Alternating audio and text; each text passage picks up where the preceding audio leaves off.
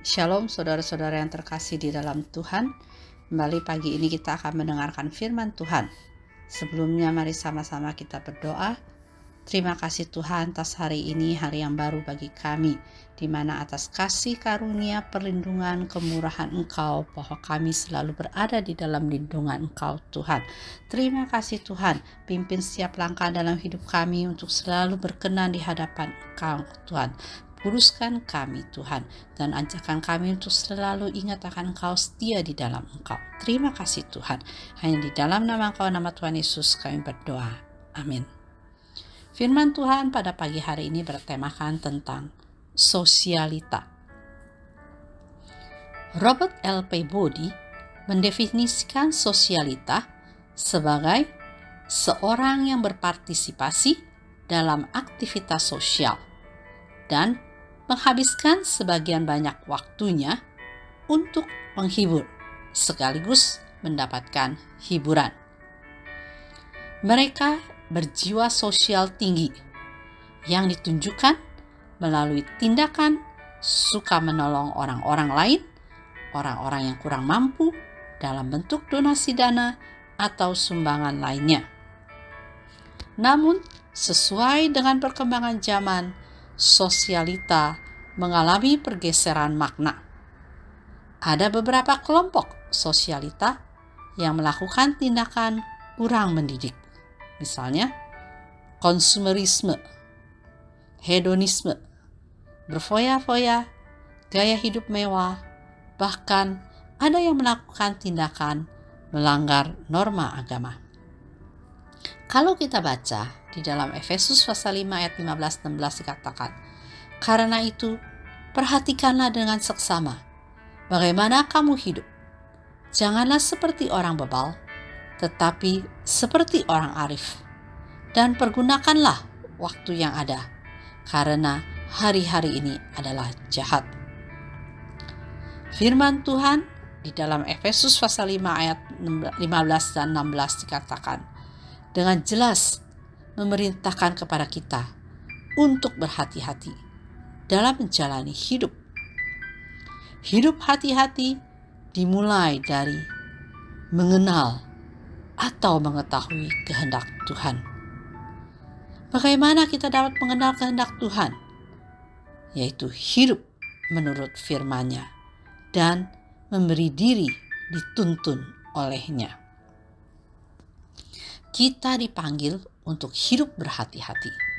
Karena hari-hari ini adalah jahat sesuai dengan bacaan kita tadi di Efesus pasal 5 ayat 15-16. Hal ini dibuktikan dengan kondisi yang ada di sekitar kita. Ada banyak tantangan dan godaan yang dapat membawa kita melakukan tindakan kejahatan atau dosa. Dan supaya kita tidak jatuh ke dalam dosa, kita dituntut untuk bisa menggunakan waktu secara bijak. Waktu yang ada adalah sebuah peluang yang harus dipergunakan dengan baik.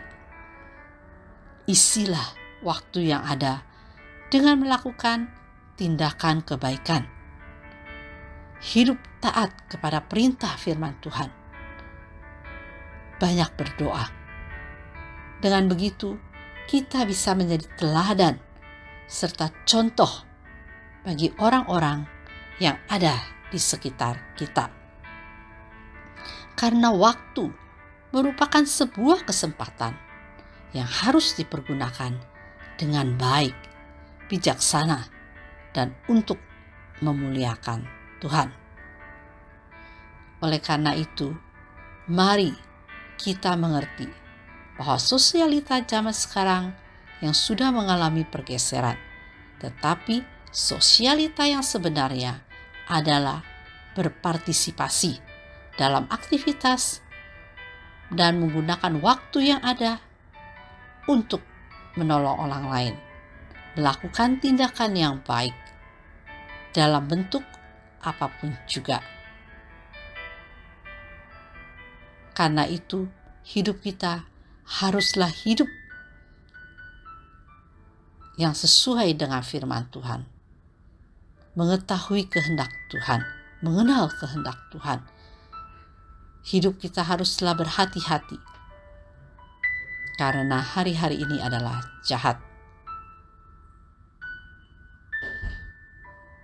Isilah waktu kita dengan tindakan kebaikan, hidup taat sesuai dengan firman Tuhan, dan juga berdoa bersekutu di dalam Tuhan. Sehingga kita menjadi kesaksian di sekitar kita. Kiranya Tuhan Yesus memberkati. Mari sama-sama kita berdoa. Terima kasih Tuhan atas hari ini Tuhan. Di mana kami telah belajar Tuhan untuk hidup berhati-hati. Karena hari ini adalah hari yang jahat. Menggunakan waktu dengan bijaksana. Dan juga kita belajar untuk menjadi orang arif. Dan juga melakukan tindakan kebaikan di dalam hidup kita. Jauhkan daripada dosa. Dan juga hidup sesuai taat kepada firman Tuhan. Dan juga menjadi contoh kesaksian di sekitar kita.